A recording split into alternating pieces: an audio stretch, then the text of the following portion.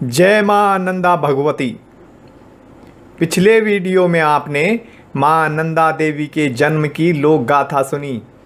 आज हम सुनेंगे माँ नंदा, यानी गौरा के विवाह की लोक गाथा। उम्मीद है आपने पिछला वीडियो देखा होगा। अगर नहीं देखा है तो यह लोक गाथा सुनने से पहले वह वीडियो ज़रूर देखें और इस वीडियो को लाइक और शेयर भी करना नहीं भूलें। रिसासू गाँव में नंदा के जन्म के बाद वर्ष बीतते गए और गौरा बारह साल की हो गई। दिखने की सुंदर और हर काम में निपुण थी नंदा।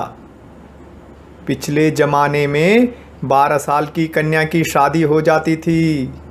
पिछली कहानी में आपने सुना होगा कि गौरा ने जन्म के बाद ही बता दिया था कि उनका विवाह कैलाश में रहने वाले भगवान शंकर से होगा। लेकिन नंदा के माता पिता पुरानी बात भूल गए और नंदा के लिए लड़का ढूँढने लगे। कई लड़के देखे, लेकिन उन्हें कोई पसंद नहीं आया। रुद्र का भगवान शिव के रूप में कैलाश में जन्म हो चुका था।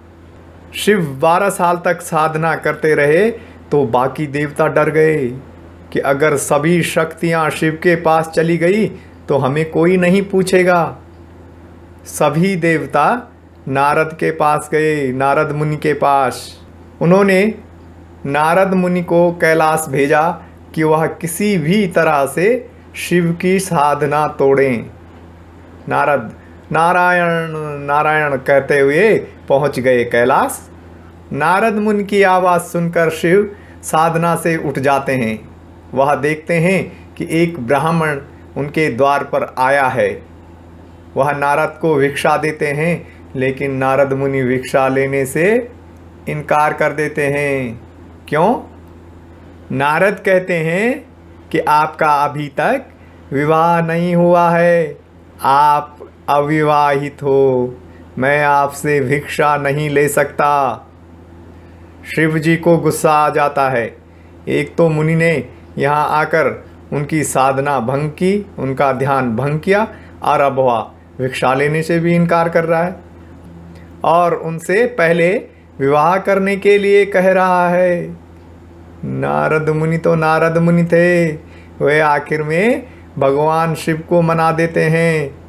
इसके साथ ही मुनि जी, नारद जी कहते हैं कि मैंने आपके लिए रिसासू गाँव में एक लड़की देख रखी है।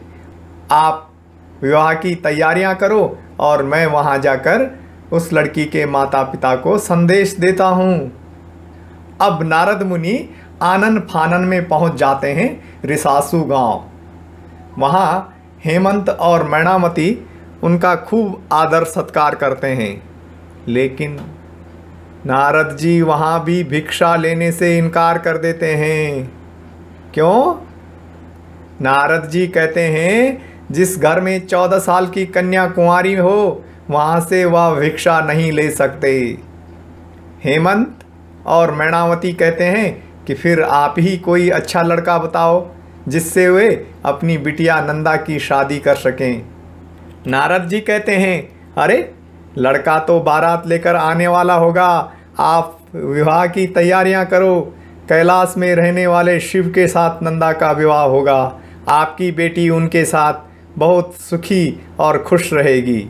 हेमंत और मैणावती नारद मुनि पर विश्वास करके विवाह की तैयारियों में जुट जाते हैं। शिवजी कैलाश से बारात लेकर चल देते हैं। रास्ते में जो मिला वह बारात में शामिल हो गया। आपने सुना भी होगा, कहते हैं ना, कि कहाँ जा रहे हो, कि शिवजी की बारात में जा रहे हैं। शिवजी की बारात में हर तरह के मनुष्य और भूत पिशाच भी गए। शिवजी जब बारात लेकर हेमंत के घर पहुँचते हैं तो मैणावती उनको देखकर रोने लग गई।